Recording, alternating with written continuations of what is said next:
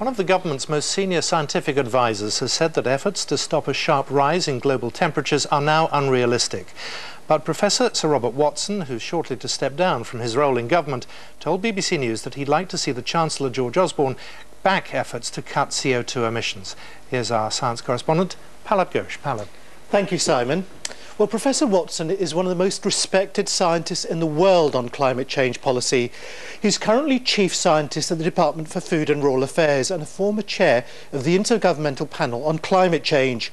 He believes that because of a lack of progress at successive international climate change summits, it's now unlikely that governments will be able to meet an internationally agreed target to reduce their carbon dioxide emissions and so limit the average rise in global temperatures. The, the idea of a two degree target is largely out the window. Not impossible, but not particularly likely. I truly do believe we're on the way to a three, four, or five degree world. And if we are on a world that's three, four, or five degrees warmer, there will be significant adverse effects. So what does this mean? According to the UK Committee on Climate Change, there are regional variations, but overall, if there's a 2 degree increase in average global temperatures, there'll be more extremes of weather, such as floods and droughts, and more people will die. If temperatures rise between 3 and 4 degrees, agricultural production will fall and sea levels will rise.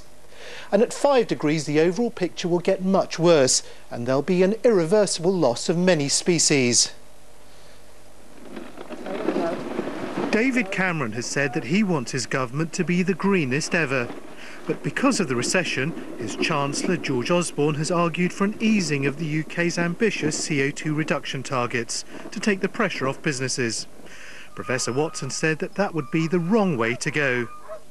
I would say to George Osborne, work with the private sector, work with the, with the public on uh, behaviour change. Let's demonstrate to the rest of the world that through some cost-effective technology, we can make significant progress here.